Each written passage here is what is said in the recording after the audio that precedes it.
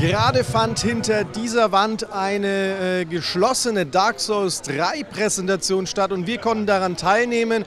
Die gute Nachricht ist, Dark Souls 3 soll der Serie treu bleiben, aber es sollen viele Verbesserungen Einzug halten in die Serie. Es gibt unter anderem neue Schwertkampfanimationen, neue Schwerthaltungen, aus denen man äh, spezielle Attacken schlagen kann. Aber auch die Welt soll sich verändern. Sie soll zwar düster bleiben, aber richtig coole und schöne Fleckchen bekommen.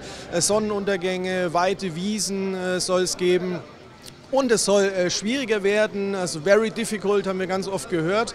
Allerdings soll es dabei trotzdem äh, für Einsteiger attraktiv bleiben und äh, auch für Neuansteiger der Serie ähm, äh, etwas bieten.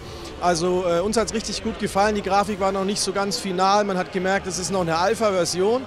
Ähm, aber das soll sich noch einiges tun und Sie haben immer wieder darauf hingewiesen, äh, man soll warten auf die äh, auf Updates, die in den nächsten Wochen und Monaten kommen sollen. Also wir sind auf jeden Fall gespannt, äh, behaltet unsere Themenseiten im Auge, wir berichten auch weiterhin über Dark Souls 3.